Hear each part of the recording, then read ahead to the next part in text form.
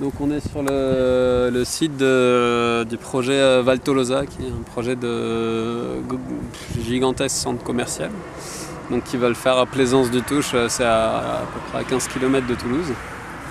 Et euh, voilà, donc c'est le projet, ce serait sur bah, à peu près toute la zone qu'on voit là, d'ici jusqu'aux limites, on voit les arbres, les maisons, euh, les constructions. Donc en sachant que là, on a déjà une zone industrielle et une zone commerciale qui est juste derrière.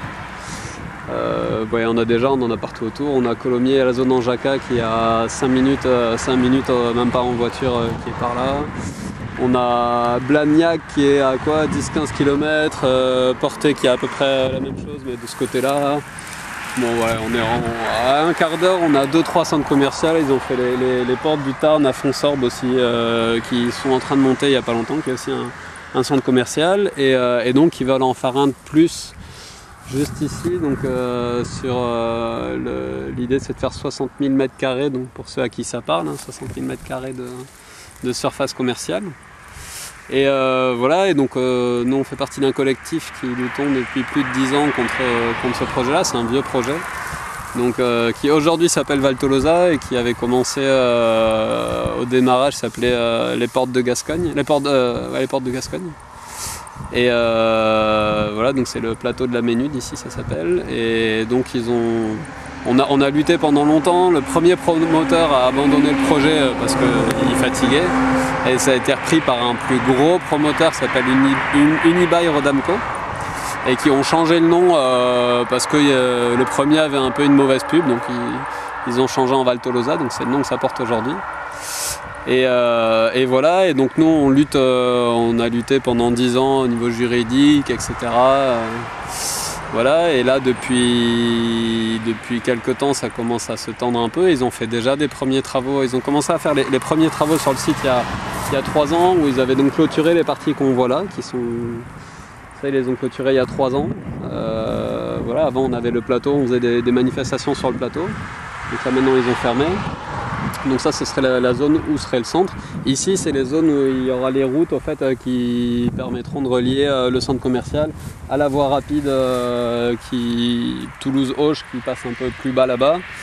Et, donc, cette route-là, elle sauterait, donc ils vont en faire, ils feraient la, route de déviation ici. Il y aura une autre ici, voilà. Et donc ils veulent démarrer les travaux. bon, pour l'instant, ils n'ont pas fait grand-chose. Ils ont clôturé. Ils avaient commencé l'an dernier. Ils voulaient faire la route. Euh, démarrer le travaux de la déviation de la route à cet endroit-là. On les a bloqués, euh, on les avait bloqués aussi pour les travaux et, euh, et donc ils avaient interrompu ce qu'ils faisaient. Et là, cette année, ils redémarrent et donc là, ils veulent faire clôturer la zone qui est là. Donc en fait, on les a bloqués hier, on les a bloqués hier matin. Euh, donc ils voulaient en fait, clôturer toute cette zone-là pour ensuite pouvoir faire les travaux de fouilles archéologiques avant le démarrage des travaux de la route et, euh, et raser euh, une partie des arbres qui sont là-bas pour, euh, pour faire passer justement le, barreau routier, le barreau routier par là. Et voilà, et donc nous on, bah, on, on est là, là on a prévu d'être là bah, tant qu'ils peuvent le faire et tant qu'ils abandonnent pas, on a prévu d'être là et de les bloquer. On a besoin de monde, comme, comme je pense dans tous les endroits où il y a des gens qui luttent. Euh, du coup, là pour l'instant, on vient euh, tous les matins. Euh, donc hier, on y était, on y était à 5h30, ce matin aussi. Donc hier, ils sont venus avec, avec deux tracteurs, trois pelleteuses, etc. Et on a réussi à, les bloquer, à les bloquer. Donc il n'y avait pas tant de gendarmes que ça. Et donc ça s'est bien passé. Aujourd'hui, on est revenu aussi nombreux à peu près et, bah, ils sont pas venus pour l'instant. Il est presque midi et ils sont pas là. Et donc on a besoin de monde parce que euh, c'est un projet de merde. Alors qu'eux ils présentent bien sûr, euh, euh, on peut aller hein, sur le site de Val Tolosa, ils présentent ça comme un projet environnemental super parce qu'ils ont prévu de faire un, espèce de lac. Voilà, ça va être un super truc où on peut passer son week-end en fait. C'est plus seulement pour faire les courses, c'est pour passer son week-end dedans. Et, euh, et donc voilà, donc ils font toute une pub là-dessus, qui vont faire un truc magnifique. En fait, ils vont juste euh, raser un des rares, un des rares espaces qui n'est pas construit euh, ici sur la zone. Et, voilà, le, le, pire, c'est que du coup, au niveau juridique, on est en train de gagner un certain nombre de batailles. On a, on a réussi à faire casser leur permis de construire. Ça, ça a été cassé au début de l'année, mais eux, ils ont anticipé, ils ont déjà fait une deuxième demande de permis de construire qu'ils ont déposée à la mairie de, Plaisance. Et bah, le maire étant, étant, à fond pour le projet, il leur a signé tout de suite.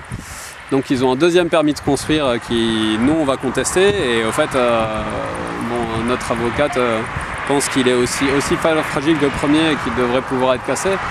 Euh, mais ça, nous a pris euh, des années de faire casser le premier permis de construire et ça risque d'être la même chose pour le deuxième. Et bon, bah, comme, comme pour la ZAD du Testé, comme pour Notre-Dame-des-Landes, euh, bah, ça va être une course de vitesse. Quoi. Eux, c'est construire avant que, les forces, avant de tout perdre en justice, voilà, faire construire et puis ensuite, ensuite voilà quoi une, fois que c'est fait, une fois que c'est fait, la loi Macron aidant, euh, la justice peut bien dire que c'était illégal. Euh, quand, c'est construit, c'est construit. Et donc il faut qu'on arrive à les empêcher de construire et on fait un appel à tous les gens qui veulent. Euh, qui sont près de Toulouse ou trucs comme ça et, qui sont dispo et qui n'ont pas envie qu'on ait un centre commercial gigantesque en plus qui se construise, qui, qui, va défoncer tous les petits commerces, qui va défoncer une zone qui est encore à peu près naturelle et qui va, et dont on n'a pas besoin. Quoi. Euh, voilà, donc à, venir bloquer, à venir bloquer ici. Euh, voilà, allez sur le site, euh, s'appelle gardaremlamenude.com. C'est gardaremlamenude, c'est du catalan G-A-R-D-E-M L-A-M-E-N-U-D-E.com. Et donc il y a des infos dessus pour savoir où c'est exactement, ce qui s'y passe, etc. Et, voilà, et puis on, ben, on va gagner, comme d'hab.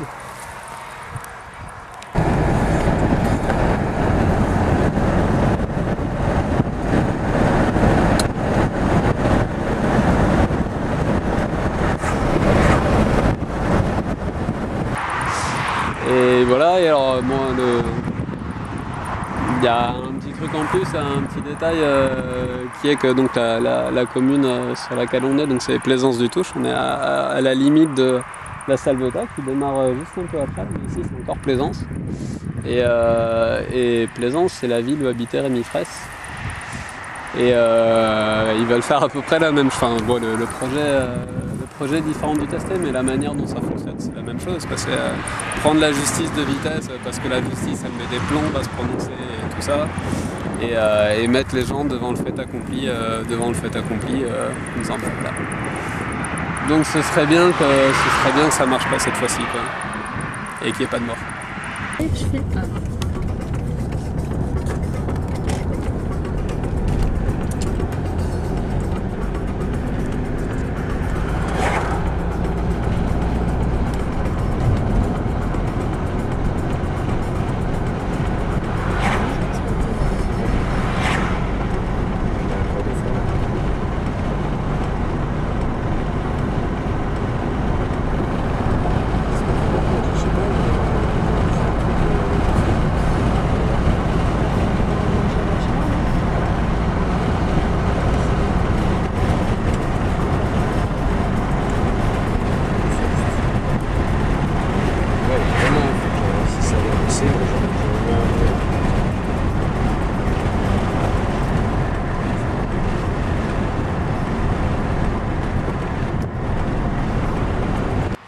Les ingénieurs de chantier sont arrivés entre midi et 3 heures de l'après-midi. Donc on pensait qu'ils viendraient ce matin, finalement ils sont venus euh, entre midi et 3 heures.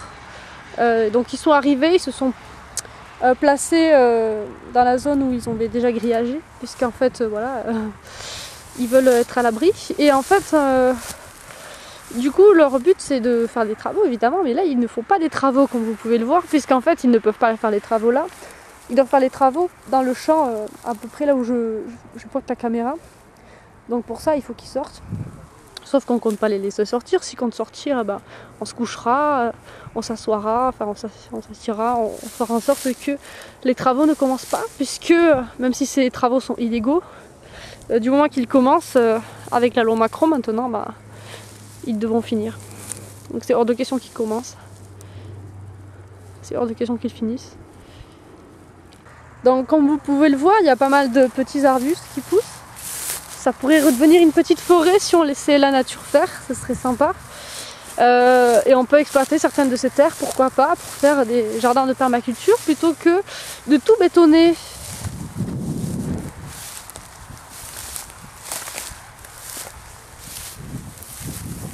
Pour moi, ce qui est, euh, ce qui est vital dans ce genre de choses, au-delà d'empêcher concrètement les travaux, ce qui est largement euh, nécessaire et efficace, hein, en fait, quand ce genre de projet inutile, quand ce genre de magouille, parce que ça n'avait pas été dit dans la vidéo spécialement, mais il y a des grosses magouilles d'élus derrière, etc.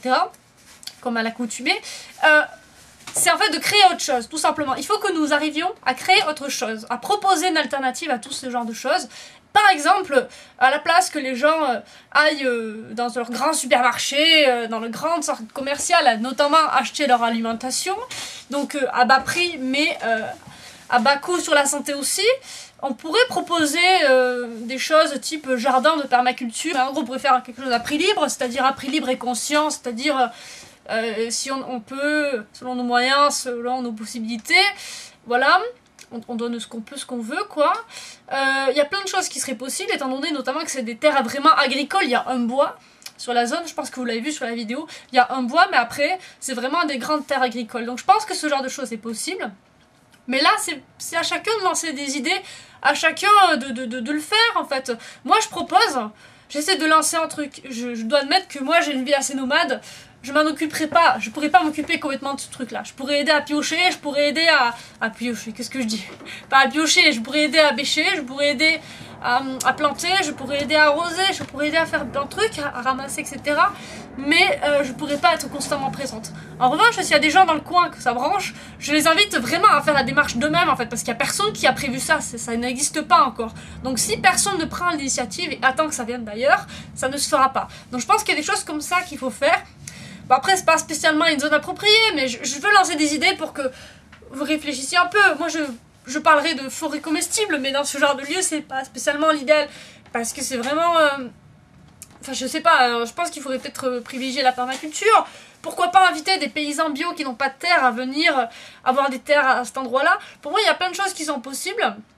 mais en, tout cas, je pense que c'est des choses qui sont importantes pour apprendre au peuple au peuple, à l'être humain, à se réapproprier l'espace public, à arrêter de se laisser manger par des multinationales à la con, d'arrêter de se laisser manger par un système capitaliste qui, qui, pousse chacun au profit. L'éducation commence par soi-même, mais je pense que c'est une éducation, et je pense que si plus, de, plus les gens verront des, des par exemple des jardins partagés, bio, etc., prix libre, conscient, euh, se construire par chez eux, peut-être qu'ils vont se poser de plus en plus de questions par rapport à leur façon de consommer, à leur façon de voir les choses, et aussi à leur façon de, à leur impact aussi, que ce soit par la consommation, euh, bah, c'est toujours par la consommation en fait au final, mais euh, même à force de voir du béton partout, ils se diront mince, peut-être que là, au lieu d'avoir du béton, on pourrait avoir un endroit sympa où on pourrait avoir des légumes et tout, ou même un petit endroit sympa où la nature elle aurait quelques droits, tout ça, enfin voilà quoi, enfin ce serait cool.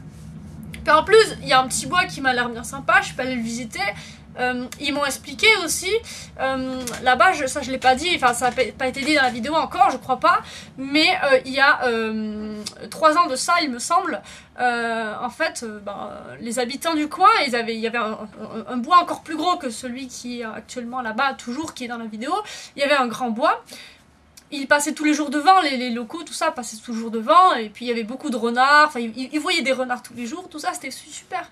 Un matin, ils se lèvent, il n'y avait plus de bois. Dans la nuit, ils étaient arrivés avec les machines, ils avaient rasé tout le bois, en fait. Euh, je pense quand même que c'est un problème. On n'avertit pas les locaux, on n'avertit pas les habitants, on n'avertit personne, et on rase. On rase tout ça pour euh, bah, du profit. Bah, c'était précisément, évidemment, pour ce projet-là hein, qu'ils ont rasé ce bois-là. Euh, ça fait 10 ans qu'ils luttent contre ce projet-là. Bon, ça a été dit, mais bon, je, répète, parce que voilà, ça fait 10 ans que, ben voilà, il y a des, des, des, actions qui sont faites, notamment en justice, euh, que c'est illégal, mais que ça continue.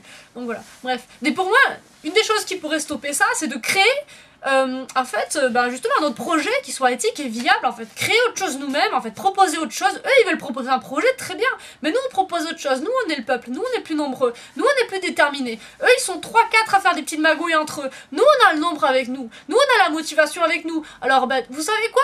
Eh bien, on va prendre nos, nos, pioches, on va prendre nos, nos petits plants de légumes, et puis on va planter, et puis on va faire ce qu'il faut.